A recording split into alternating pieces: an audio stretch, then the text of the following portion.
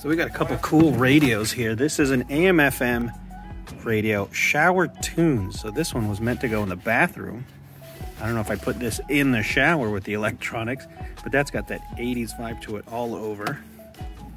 We've got this, a realistic CTR 33 in really good shape, just dusty. Everything powers up.